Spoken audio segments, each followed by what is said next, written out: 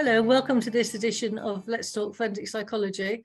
Um, today we're really pleased to be joined by the newly appointed Associate Professor, congratulations Craig, um, in Psychology at Nottingham Trent University. Um, Craig's also a blogger on politics, sex and crime, so very light subjects to blog about. Um, and I've seen some of your Twitter interchanges about some of your topics. Um, and he's published extensively in the areas of political decision making, the Good Lives model, um, attitudes towards asexuality and those attitudes towards those who commit sexual offences, and more recently on the psych psychological characteristics of those who own sex dolls. Um, so you're very welcome. Um, so I wondered if you could start by telling us a bit about how you got into forensic psychology. I always frame myself as, as kind of a, a little bit of an imposter, I guess, in in forensic circles. So I'm not a forensic psychologist. I've never worked in a prison. I've never worked with convicted populations. Um, I've gone straight through from my undergraduate to my master's to my PhD and now on to academia doing essentially social psychology research, um, just applied to, to crime really. Um, I first got into it in God, 2011 now, 2010, 2011, when I was doing my undergraduate degree with Todd Hogue at Lincoln. Um, so yeah, I basically did my undergraduate project on attitudes towards uh, people with sexual convictions or attitudes towards sex offenders as they were at that at that stage. Now kind of the language has, has evolved. Um, basically looking at kind of how did students and the general public kind of conceive of this group. Um, and that's just developed over time. So I've done stuff on uh, media representations of, of this group. My PhD was all about how people form attitudes. So we know that people generally have negative attitudes, but we don't really know much about the psychology of that. Um, so I did a lot of work on things like uh, cognitive heuristics and things like that. So how do people actually um, kind of form these attitudes? What are the mental processes that go on to form those attitudes? Sorry, can you just yeah. tell us what a cognitive heuristic is? Sure. So uh, heuristics are essentially mental shortcuts. So for example, uh, the availability heuristic. If I said to, to one of you, if you can name your fruit as fast as you can, probably you're going to say something like apple or banana rather than peach or mango because they're more available in our kind of cognitive resources, I guess. Um, and that's one kind of example of a heuristic where it's a shortcut in our mind. We use these um, kind of preconceived rules, predefined rules that we have in our minds to make really quick decisions. So I did stuff on availability, looking particularly around the kind of Jimmy Savile case. Um, so when I was doing my, my master's degree was when the, the Savile case really kind of hit the headlines in 2012, 2013. Um, and we saw basically there was about a 350% increase just in the coverage of sexual crime year on year, pre and post that Savile case breaking. Um, that wasn't including the Jimmy Savile articles. If we included them, it would have been much higher as well. Um, so you can see how these really high profile cases and available case kind of drives a, a lot of the kind of social discourse around sexual crime.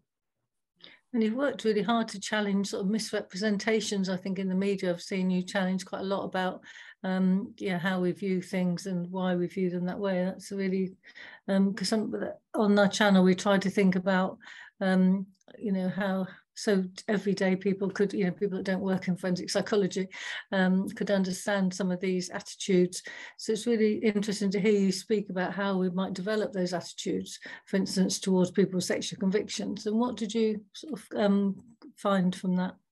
So I've not really done too much, to be honest, on changing attitudes towards people with sexual convictions, because I think once people have committed the act, it's going to be quite difficult to to change people's attitudes towards that, just because the visceral, the emotive kind of response that we have to that kind of offending is so so powerful. Um, so one thing that we did do was just the final study of my PhD actually was looking at can we change attitudes towards people with uh, sexual kind of interest in children, sexual attraction to children, kind of in that pre-offense stage. So people who have those sexual uh, sexual attractions, um, who aren't offending, who maybe won't ever offend, um, but can we change those attitudes? So one thing that we developed was uh, a process called narrative humanization. So it's kind of breaking down that monster stereotype that people have. We have this kind of emotive response, I guess. We see them as, if you look at the media representations, for example, headlines like Beast and Fiend mm. um, are quite often kind of represented, particularly in tabloid newspapers. Um, so what we thought was that because those kinds of headlines are dehumanizing, can we rehumanize by presenting stories of people with these sexual attractions talking about what it's like to have them, um, talking about the barriers that they have to seeking help, talking about the difficulties that they have navigating social interaction, things like that.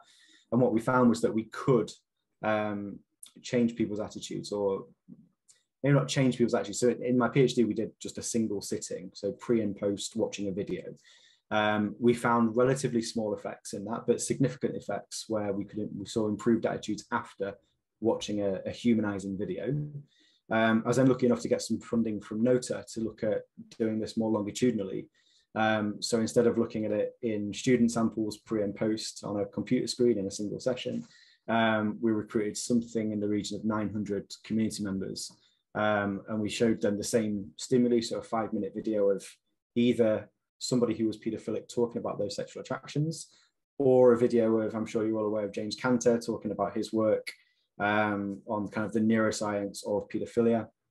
Basically, the same core arguments coming through, but the source of the information was what was different.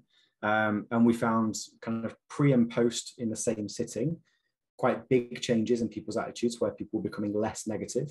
And then at four months down the line, we saw that those those changes they weren't quite as big, but they were still there. So we could see even with a five minute intervention, we saw in improvements in people's attitudes towards people with paedophilic sexual attractions, even at four months down the line. So my hope is that we will be able to do something a little bit bigger next time. So can we look at, um, so kind of my blue sky idea, I guess, is can we get a soap to put uh, someone with sexual attractions to children in their in their storyline? Could that be a storyline? We've seen massive um, stories in relation to domestic abuse, in relation to uh, racism, in relation to kind of sexuality.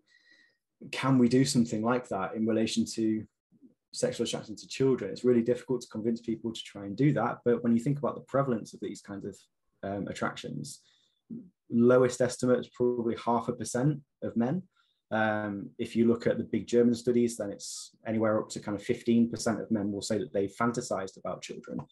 Um, so these are, there's a huge number of people that this could potentially uh, affect. Um, so yeah, if we could get something like that in a soap, that would be the ideal, but I don't see it happening anytime soon.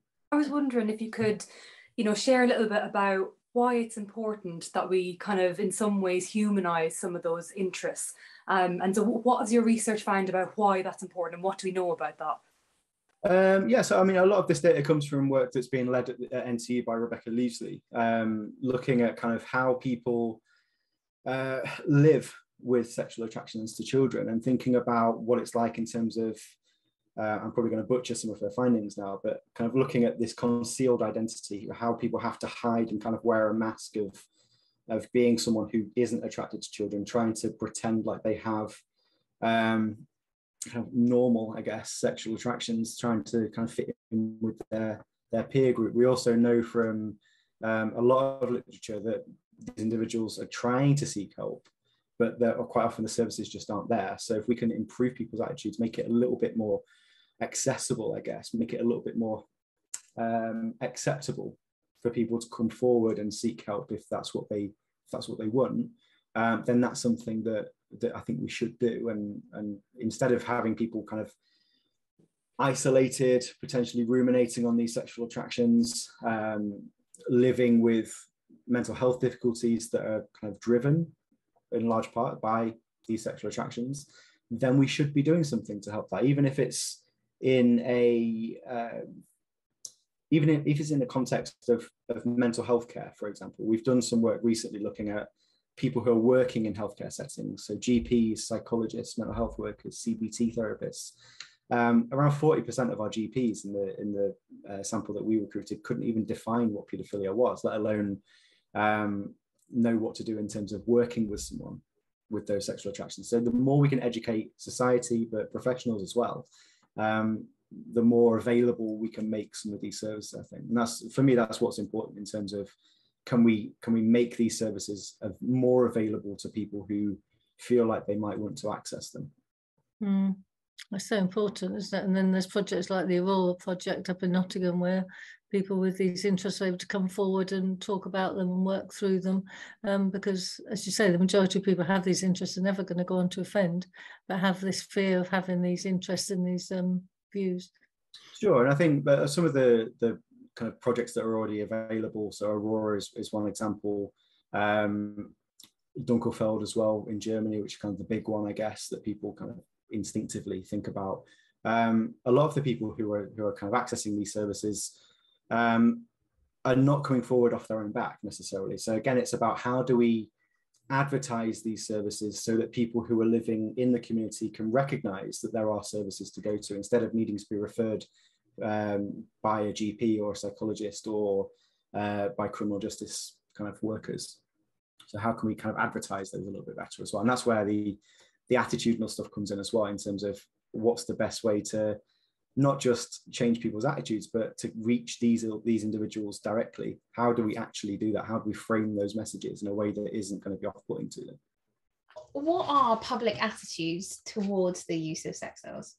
My instinctive answer to that before we started doing research was that people hate sex dolls and they hate people who own them. Yeah. Um, our findings have not shown that trend in attitudes.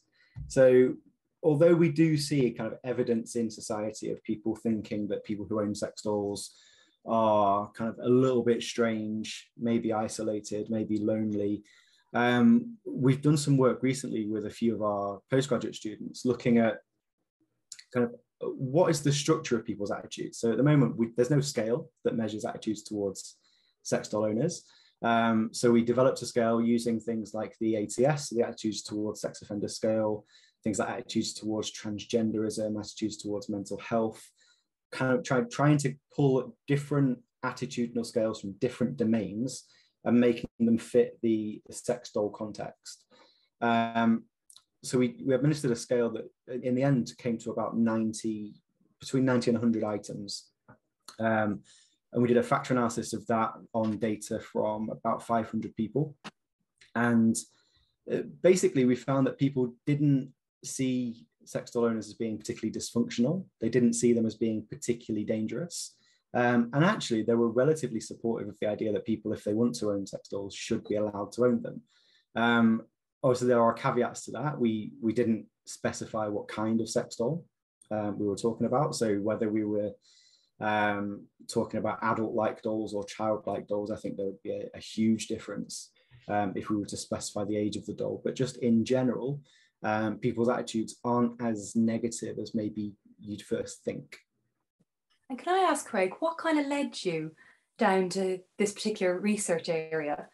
Uh, again, really good question. And I, whenever I get asked questions like that, I, I never really know how to respond. I just, I quite like exploring topics that people just have an instinctive response to, um, especially when there's no data to support those instinctive responses. Um, so things like pedophilia, things like uh, sexual offending, things like sex dolls, people tend to have these intuitive things around no they're bad that we should ban them uh, we should lock these people up whereas actually there's there's very little evidence to support that so in uh, some of the stuff that joe was talking about earlier in terms of profiles of people who own sex dolls i think instinctively if you look at the legislation that's coming out people are talking about whether we should be banning them whether we should be restricting access to them um, because they could lead to harm further down the line or they could lead to um, issues with attitudes towards women or offence supportive cognitions in relation to child sexual offending, for example. Um, we found that that's not the case, um, at least in our kind of initial preliminary kind of data. There's no association whatsoever with um, sexual aggression proclivity, for example. Um, we do see some evidence that people who own sex dolls are maybe more distrusting of women, but they also have poorer quality past relationships. So it's not necessarily that sex dolls are causing these attitudes. It could be that people have these attitudes, they're not engaging in kind of normal relationships, and they're using a sex doll as a surrogate for that relationship. Um, so for me, to, to kind of to go back to the question, it's it's less about having a particular interest in this specific topic, I guess, and it's more about wanting to have an impact on kind of adding data to a social discussion that actually I think is really important in terms of people living healthy, happy sexual lives in a way that doesn't harm other people. When actually, if they weren't using these things, if they weren't owning these dolls, they maybe could be if they have um, atypical sexual interests and uh, kind of sexual attitudes that might be supportive of um, sexual offending. If they have a safe, healthy sexual outlet that satisfies them, and we can show that these things are not increasing harm, then why shouldn't we be um, looking into that as a potential safe sexual outlet for, for different groups? And have you seen any connection with incels then, which obviously come out more to the fore recently about people who um, feel it's sort of got those sorts of attitudes towards women? So we, we haven't done anything specifically with that group. Um, I know they are a very difficult to reach group in terms of research. Um, I was talking to someone actually, uh, a guy called William uh, Costello at a, a, BPS conference recently, who's done work with incels. Um, and to be honest, the profile that he's starting to build of, of the incel psychology doesn't, again, doesn't map the social stereotype of who incels are. Um, in fact, they seem relatively sad, I guess, in terms of their mental health, their, their mental well-being, very low uh, sorry, high levels of loneliness, for example, low uh, levels of well-being, high anxiety, high depression. Um, so no, to, to, answer the question, we haven't seen any association with that, but we haven't explicitly looked at it, to be honest. Mm. Um, it is something that we could look at in the future, but we don't currently have plans to do that. So I wonder what the difference between sex dolls and sex bots was. So the key difference is the the technology. So a sex doll in its kind of crude form is inanimate, it's made of um, silicone uh, typically, whereas the sex bots will, will be made of um, typically higher quality material, but they'll also have some kind of AI built into them. So they'll be able to uh, kind of rudimentally interact with their owner, for example. A lot of the newer models, for example, have got um, relatively advanced AI built into them in terms of they can respond to their owner. They have certain modes that are pre-programmed, but they can also learn um, from their experiences using this kind of machine learning algorithm, algorithms. So um, yeah, the key difference really is the uh, the technology, as, as far as I'm I'm aware.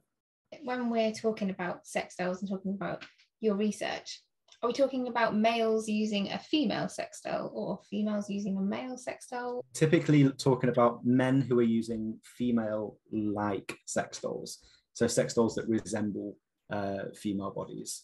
The vast majority of items that are on the market are female resembling sex dolls. I, I, had another question about your sample actually. Um, was your sample non-offending? Was it kind of the general population? Did you use any offending samples within it? As I was really curious about whether or not sex dolls might potentially feed into a sexual preoccupation, which we know is linked with risk potentially for some people. So I was kind of curious about that, Craig, if you could share a little bit about your sample. Yeah, so the, the samples that we've recruited are from, from a very variety of different places. So the majority of the um, the majority of the sex dolls that we've recruited are coming from forums that are online. So there are a, a few kind of really high profile um, forums for people who own sex dolls that we've recruited from. Um, in terms of our public comparison sample, we've uh, recruited those from a crowdsourcing platform called Prolific. So you can basically pay people a little bit of money just to take part in a survey to give you a control sample. Um, but no, the, the samples of sex doll owners that we've had um, are not offending, um, or at least the, we haven't recruited them from uh, from correctional kind of context, I guess. We haven't gone out and looked for people who have offended and own a sex doll. We've just looked at people who own a sex doll. Um, and then whether they have or haven't offended um, is kind of a, a question that we've we've explored a little bit. We're finding relatively low levels of offending, but again, it's self-reported. So um, so whether or not we can really trust that data. We've tended to rely on proclivity data more than offending data. So uh, essentially with that data, you get, you give people a range of different scenarios and you say, in this scenario, would you be sexually aroused? Would you do the same thing? Um, and would you enjoy kind of getting your own way?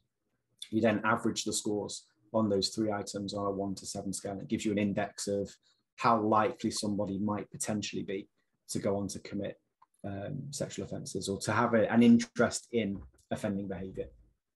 It's a really interesting algorithm. I've never heard of that as an algorithm of potential offending. I wondered, Craig, if you could share for our viewers what proclivity actually means. Um, you know, just just to kind of give an example of what that might mean and what that looks like. Yeah, so proclivity is um, it's kind of an analog for a, a risk measure. So, um, like I say, if, if you have someone who is saying that they are highly aroused by an offending scenario, um, that they would probably do the same thing in that situation and they would enjoy getting their own way, um, then we would infer that that person has a potential risk for future offending or they have an interest in offending. Um, I think in the sexual offending literature, there's a, a, scale called the Interest in Child Molestation Scale. Um, it was put together by Theresa Gannon and Alicia O'Connor. Um, it seems to be used a lot to measure, on the face of it, the papers that have used that tend to use that as a measure of prevalence of sexual interest in children. Um, but to me, that's it's more of an index of um, kind of an interest in offending rather than an interest in the group, if that makes sense. It's a very behaviorally grounded measure. It's about in that situation, would you do the same? How would you feel if you were doing that behavior rather than are you sexually aroused by this potential group? How have sex dolls developed in other countries? Um, so there's obviously different different countries have different laws. Um, so, for example, in the UK, it's not illegal to own a childlike doll in the UK. It's illegal to import a childlike doll under uh, postal laws. So it's about importing an obscene item. Um, whereas in uh, various different US states, it's illegal to own uh, dolls. Um, so essentially, because the technology has grown so quickly, it's it's really difficult to see kind of how different countries are treating it because the, we're starting from a baseline of there's no legislation at all, and people are trying to kind of form legislation reactively because of what they think might be the kind of downstream effects of owning sex dolls. So it's a really difficult question to answer, to be honest, because there isn't uh, there isn't really any comparative data between different countries. Obviously, in the Far East, um, where technology tends to kind of develop a little bit quicker, um, we do see slightly higher rates of these um, of owning these dolls. Um, we also see, I think, slightly more permissive attitudes, at least from a social discussion perspective. We haven't done. Um, maybe we should kind of run that study in terms of looking at attitudinal differences in different countries. That would be really interesting, actually. Um, but we haven't got comparative data, to be honest. So it's, it's really difficult to answer what's going on internationally. Sounds like though you're doing some really groundbreaking work in, in many ways. If there isn't that comparative data, actually the UK kind of you're leading that really, which is fantastic. We hope so. We hope so. And it's like I say, what we see is that a lot of people are making suggestions about legislation because of what might happen as a result of of sex doll ownership. So we see a lot of philosophers, we see a lot of legal scholars talking about the potential for harm, and and there's a there's a school of thought in legal scholarship called legal moralism, um, and a lot of the uh, a lot of the discussions that are being had are within that school of thought. It's about what could happen as a result of owning sex dolls. Um, there's a couple of papers that are talking about um, robotic rape, for example, so literally equating having sex with a sex doll or a sex robot as being rape, um, which to me feels a little bit strange, um, to be honest. And when you think about the fact that um, these dolls are inanimate, I've had conversations, Jerry, you kind of alluded at the start to kind of Twitter discussions. I've had a few discussions on on Twitter, one particular high profile one back in 2017, 2018, um, where it was talking about well, so someone posted about a, a convention, a conference where a new sex doll was introduced, and within a few hours, that model of sex doll was broken at the at the conference because it was so used. Um, and this was being used as an example of how sex dolls cause harm to women.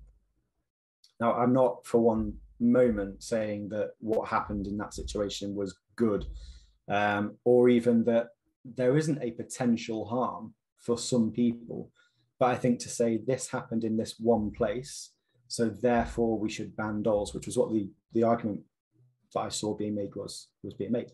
Um, I think it's a stretch to say that, particularly when at that time there was literally no data at all. There was no review of the evidence, there was no preliminary data, there was no theoretical model of what risk might look like. It was just pure emotion reacting to a, a single story um, and thinking about what the downstream effects might be. So yeah, I, I, think if we can do something that is groundbreaking, kind of if we look at uh, just providing some data, like what's actually going on, what's this, what, who are sex doll owners and what are their profiles in terms of their psychology, their personality?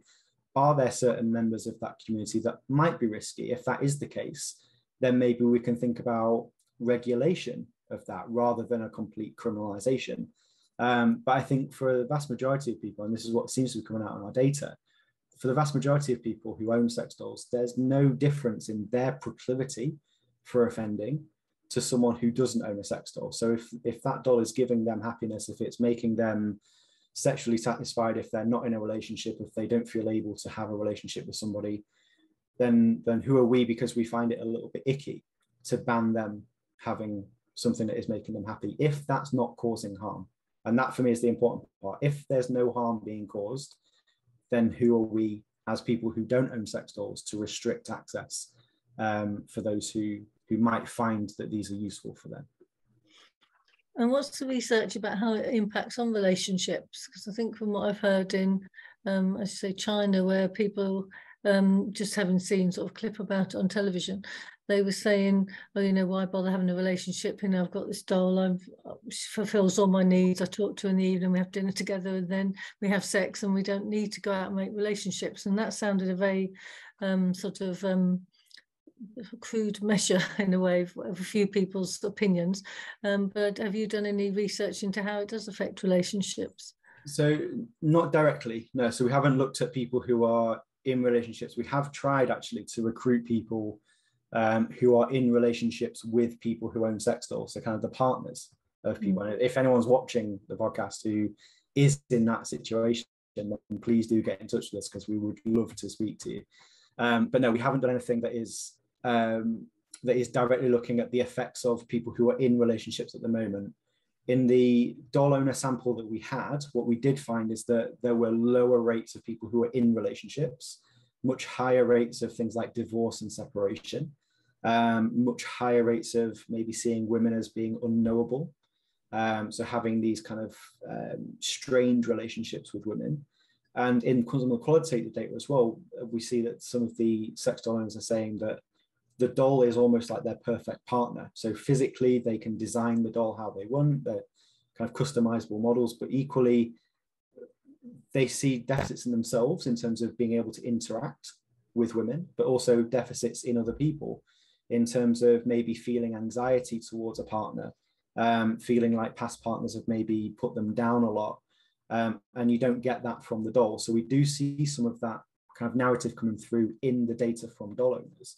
Um, but there's nothing that we've done at the moment looking at people who are in relationships and what their relationship is like um, as a result of having a doll. And I think we'd find it really difficult to run something that was meaningful um, on that purely because of the sample sizes. We, we spent kind of two and a half years recruiting uh, the sample that we have already got, and we've got about 150 people who own sex dolls. And if we start looking at people who are only people who are in a relationship, then the statistical power to really say anything meaningful really drops. So it's it's really difficult to do much in this area that is not correlational, looking at kind of kind of general relationships between different constructs. But it's something that we're trying to to expand.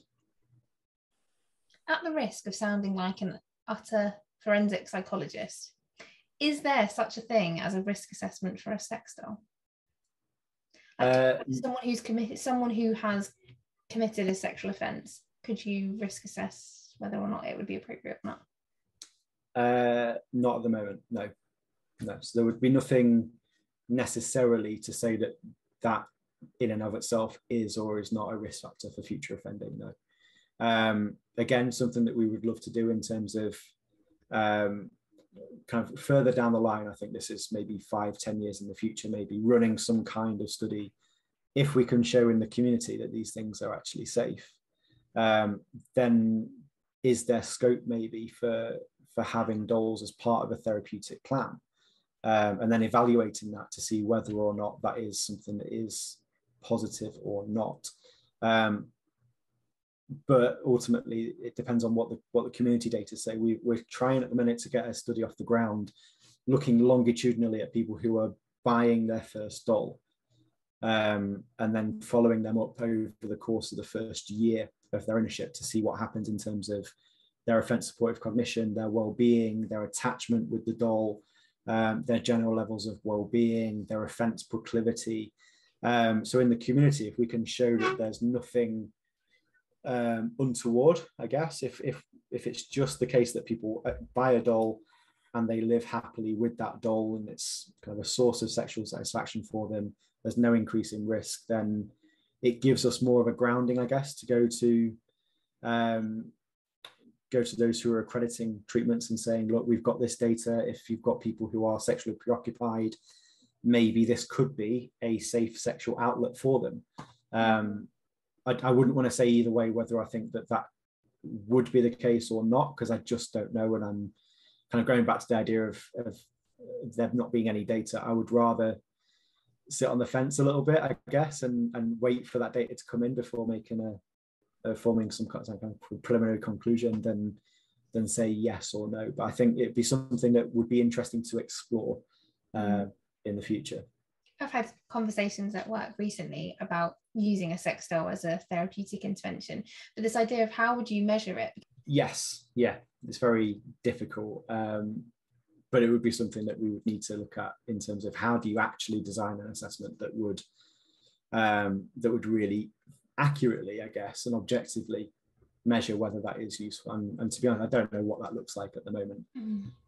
When you do, please come back and tell us. uh, absolutely, and, and we should have a chat in terms of what you think that might look like as well. It's really interesting. It does sound in some ways, and for some people, it could be quite protective actually. Um, so I think in some ways it could be quite useful. And if you got if you got that study off the ground, it'd be amazing to, to find out actually how, how it could be supportive or not.